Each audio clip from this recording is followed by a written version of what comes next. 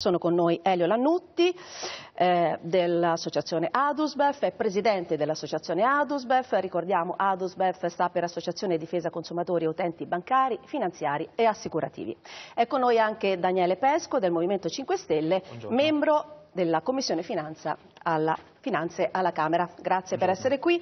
Lannutti, dunque vogliamo ricordare che cosa è accaduto tra il 2005 e il 2008 al tasso Euribor? C'è stata una cl- clamorosa manipolazione da parte delle banche che ogni giorno decidono qual è il tasso Euribor, fissano questo tasso che è il riferimento di ogni prestito indicizzato. Quindi se uno ha un mutuo a tasso indicizzato variabile, paga diciamo uno spread, mettiamolo 1,5% più l'Euribor. Se viene manipolato, se viene alterato questo tasso, significa che c'è un danno. E l'antitrust europeo ha sanzionato il cartello di alcune banche e le ha sanzionate con una multa importante, diciamo di 1,7 miliardi di euro per cartelli illegali e le banche di riferimento sanzionate erano alcune importanti. Quindi significa che coloro che tra il 2005 e il 2008 avevano stipulato un tasso variabile indicizzato all'Euribor hanno il diritto al risarcimento perché quel contratto era nullo, annullabile. A chi vuole andare sul sito www.it trova un modulo che è questo e può esercitare i propri diritti diritti di risarcitori, i propri diritti di risarcimento. Ma per fare una stima, ecco, eh, quanto le famiglie italiane hanno pagato indebitamente? Noi abbiamo stimato attorno 3,5 miliardi di euro solo in Italia, 3,5 miliardi che, come l'anatocismo, 7 miliardi questi si guardano bene da risarcire, però noi continuiamo ad informare anche grazie all'accesso.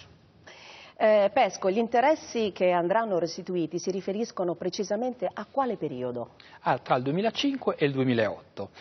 La cosa più sconvolgente è che queste banche che hanno manipolato il tasso Euribor sono anche specialisti in titolo di Stato. Che cosa vuol dire? Vuol dire che sono quelle banche autorizzate a a, a cedere alle aste dei titoli di Stato del nostro, del nostro, Ministero per l'Economia e le Finanze e quindi sono gli unici che possono comprare i titoli di Stato. Quindi queste banche non solo erano nostri fornitori, nostri diciamo così, acquirenti di titoli, ma in più erano quelli che hanno manipolato il tasso Euribor. Dico una cosa in più, lo Stato stipulato con queste banche anche i cosiddetti contratti derivati, quei contratti con i quali nostro, i nostri governi che ci hanno, che ci hanno preceduto hanno eh, fatto delle scommesse sull'andamento dei tassi dei titoli di Stato e guarda caso i derivati permettono allo Stato di pagare non gli interessi veri ma gli interessi in, Euri, in Euribor, logicamente con l'aggiunta dello spread. Quindi si fa uno scambio praticamente, la banca accetta di pagare il tasso fisso, quello dei titoli di Stato e lo Stato paga a queste banche un tasso Euribor Euribor più uno spread. Le stesse banche, alcune di queste, hanno manipolato questo tasso. Quindi dobbiamo renderci conto che il problema del risarcimento danni non riguarda solo i cittadini,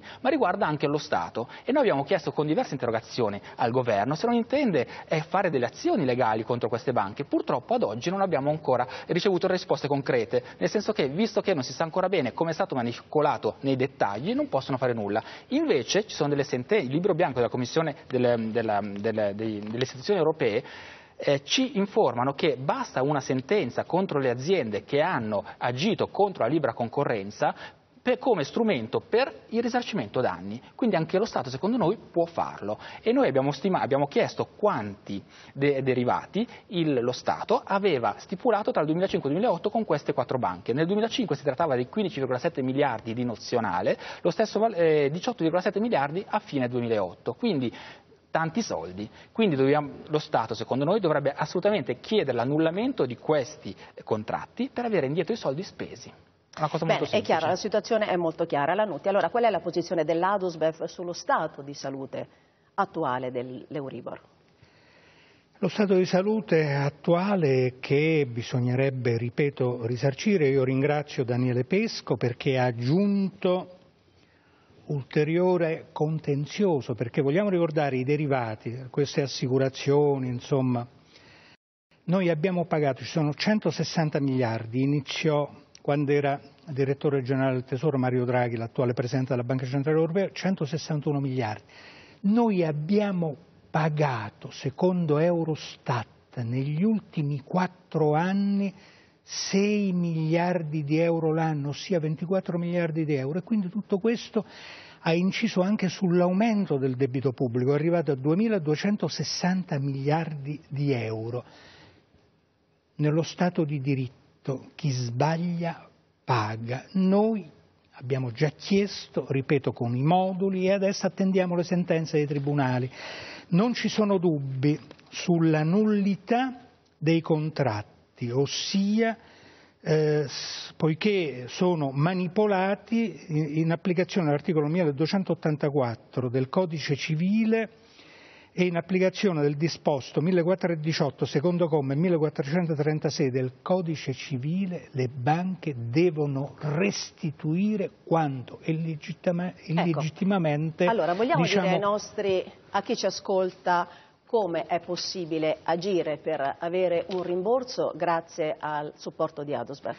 Allora, già ho fatto vedere, questo è il modulo.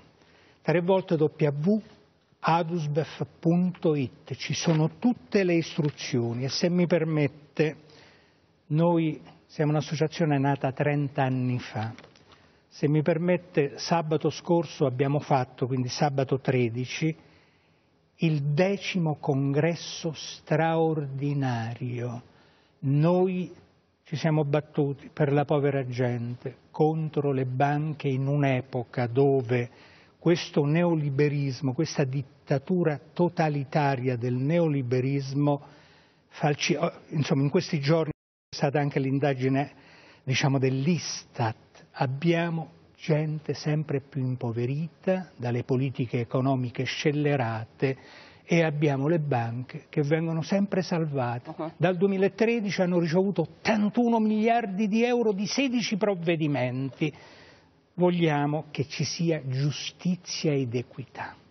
Pesco, mm, vogliamo dire quali consigli a chi volesse accendere un mutuo?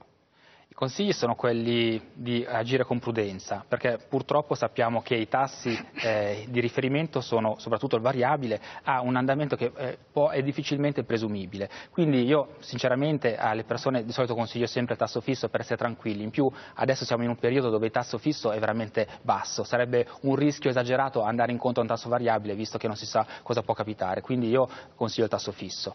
Una cosa da non fare invece per le aziende soprattutto è quella di stipulare derivati, perché spesso spesso molte aziende invogliate dalle banche vengono eh, così eh, invitate a stipulare dei contratti di finanziamento derivati e sono delle scommesse e quindi queste scommesse andrebbero assolutamente evitate. Qual è il gioco forte delle banche? Un po' come è successo con i titoli di Stato. È il fatto che la banca ti offre un finanziamento, quando compra ad esempio i titoli di Stato, ma anche alle aziende offre finanziamenti, dall'altra parte ti chiede però di stipulare o una garanzia o un derivato.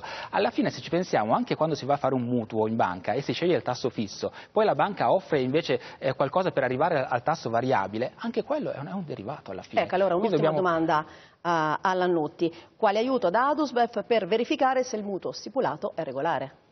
Intanto non bisogna fermarsi alla prima banca, ci sono più banche, ci sono tante associazioni di consumatori che possono verificare però sempre preventivamente perché ci sono clausole vessatorie nei contratti, quindi sempre prima chi ci ascolta, magari prima di stipulare, aspettate qualche giorno, informatevi bene prima perché poi quando abbiamo stipulato magari un contratto che non risponde alle nostre esigenze, io sono d'accordo con eh, diciamo, Daniele Pesco, mutui a tasso fissi in questa, diciamo, in questa, situazione economica, stipulate a tasso fisso, non a tasso variabile, magari indicizzata all'Euribor.